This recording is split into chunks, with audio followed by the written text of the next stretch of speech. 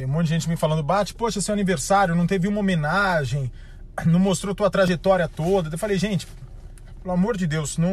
Eu sou primeiro que eu sou tímido para essas coisas. Tenho vergonha até de cantar parabéns. E eu acho também que o tempo de Cidade Alerta pode ser usado para algo mais útil do que mostrar minha trajetória profissional, que quem quiser acompanhar tem lá na, no Wikipedia, o R7 fez uma matéria linda também. Mas eu quero agradecer é, toda a minha equipe por tanta demonstração de carinho durante toda essa terça-feira, hoje, dia do meu aniversário. Em especial da Mariana Ferreira, que é a editora-chefe do Cidade Alerta e que é meu braço direito no programa, que não aparece, porque ela é nossa Lombardi, né? Lembra o nosso Lombardi do Silvio Santos, que não aparecia o rosto? Mas ela é extremamente a alma desse programa e me fez um cartão aqui que me emocionou e vou mostrar agora.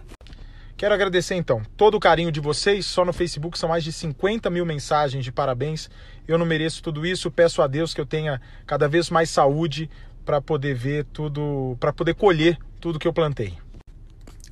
E como pisciano, que eu plantei é amor, é, abro mão de muita coisa que deveria ser para mim para fazer pelos outros. Né? Uma pena que nem todos se conhecem, mas pelo menos a gente tenta.